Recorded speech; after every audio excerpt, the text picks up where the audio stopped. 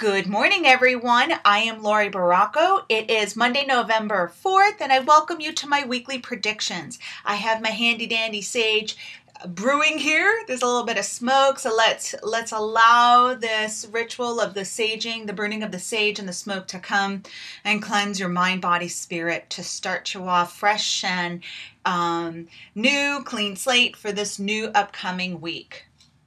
One of the messages that I have been receiving regarding this week had to do with the winds of change. The winds of change are blowing and they're all around just about everyone these days, myself included. And um, the cards that I selected for this week through my Gilded Tarot are the Six of Pentacles reversed. Now, this card talks, speaks of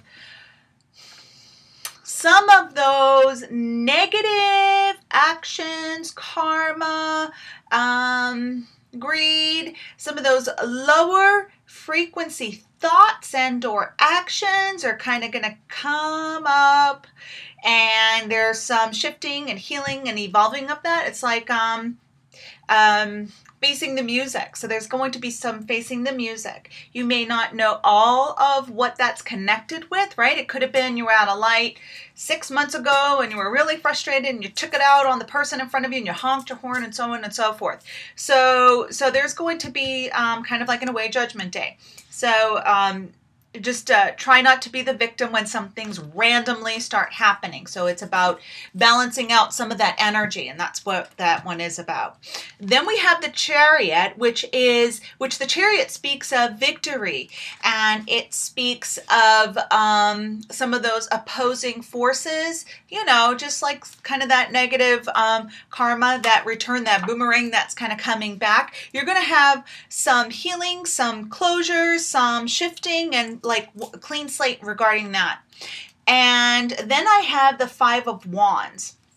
This one speaks a little bit of um, kind of um, um, dealing with those internal battles and shifting the thoughts, maybe trying to help you get out of that victimhood because you might feel like, oh my gosh, I'm dodging bullets here and there and so on and so forth.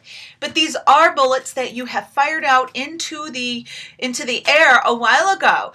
So um, please, please, please do your best to just say, okay, it is what it is. Just let it roll off your back, acknowledge it, and say, okay, this is, I'm going to shift this, I'm going to work through this. Um, keep meditating, keep cleansing your energy, uh, journaling. You don't have to dissect everything. I, I, you know, I get concerned when people are trying to find out exactly when it happened and what this is connected to, because really, um, you don't need to know everything. If you have kind of the gist of the pattern that you have had going on in your life for a while, then that kind of like covers it, blankets everything.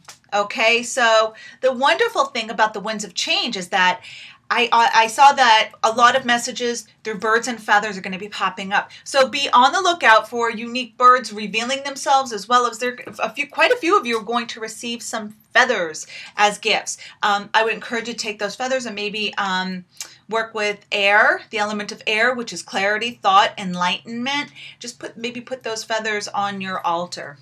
All right, everyone, thank you for tuning in. Have a great week and just do your best to keep on going forward.